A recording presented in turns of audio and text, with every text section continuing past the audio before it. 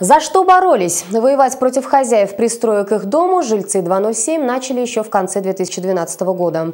Они были уверены, возведение этого строения вредит их жилому дому и даже разрушает его. После множества долгих судебных тяжб им удалось отстоять свою правоту. Казалось бы, выиграно показательное дело, простые жители празднуют победу, незаконная постройка должна быть снесена. Но в реальной жизни все прошло по иному сценарию. Подробности прямо сейчас.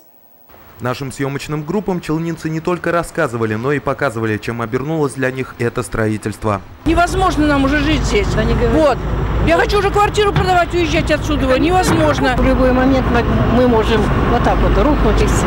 А тут еще вот этот пристрой делает. Это же, я не знаю, это мина замедленного действия. Мы спать ложимся и не знаем, утром проснемся или нет. Одна, вторая, это вот уже широкая, третья, четвертая, пятая – шестая вот там наметилась.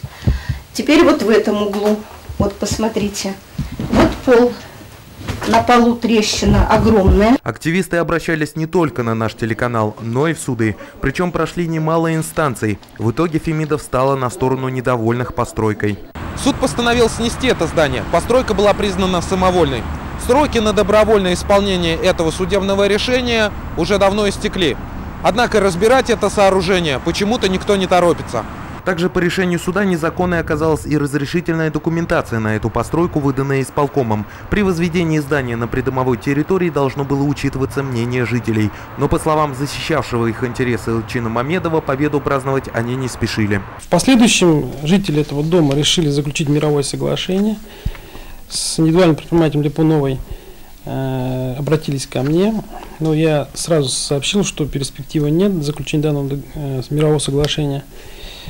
Они обратились э, в апелляционный суд с, по вновь открытым обстоятельствам и с целью заключить последующее мировое соглашение. Однако Верховный суд Татарстана решение нижестоящей инстанции в этой части не смягчил. Постройка должна быть снесена.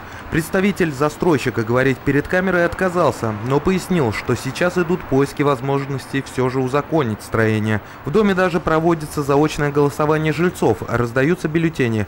Но изначально у противников стройки были совсем иные требования, вспоминает правозащитник Ильчин Мамедов. Улучшить крышу пристроя, то есть э, э, потом сделать детскую площадку, с определенно какие-то довольствия. Вот. Э, ну, я думаю, все-таки в данном случае это все-таки злоупотребление правом, своим правом на суд.